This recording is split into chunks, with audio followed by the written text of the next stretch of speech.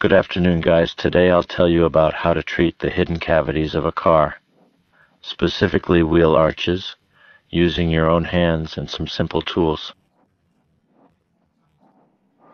I'm going to use my grandfather's pure lard recycled oil.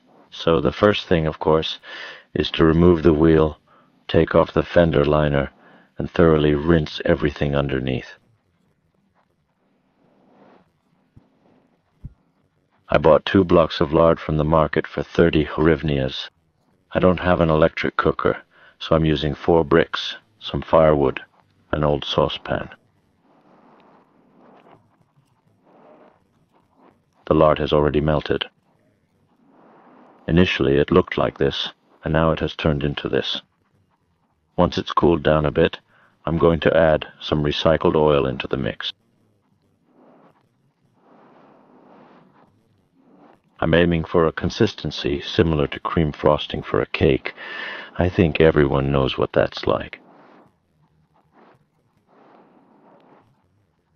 I find it convenient to spread these cakes on the treated surface. It's quite simple and easy to apply. Let me show you the two pieces of lard I have here. In a while, I'll tell you how much recycled oil will be added, and then I'll pour it in and stir it. Once it's cooled down a bit, I'll show you the result.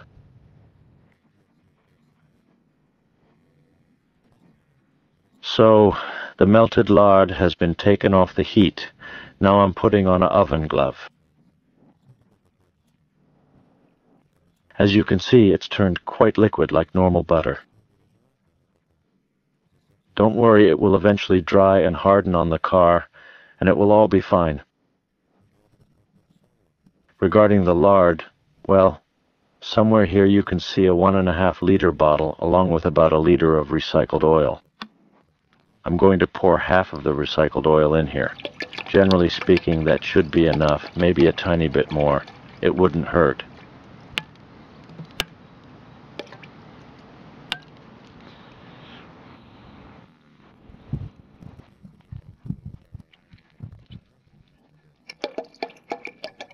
It will all drain. Then the car will drain out on the street. So don't park the car in the garage. In the sun it will melt, that's it. I've poured about 700 to 800 grams of oil onto the two blocks. Now it will start to harden a bit and then it will be very easy to spread it on the inside of the arch which has already been cleaned. From three cleaned areas, it's ready to apply the mastic, not exactly mastic, but liquid lard. I'm going to cover the brake drum now to prevent any dripping onto it so it stays clean and not greasy. So in general I've done the first arch, everything here is well coated, especially all the seams.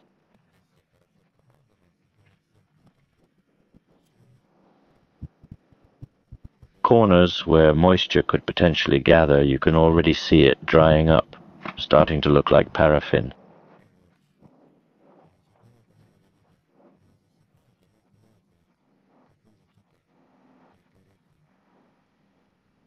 Here's a piece, you see it gets spread like this to create this type of grease.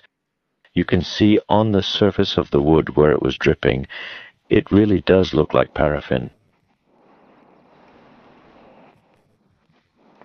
Here, it seems there's a droplet.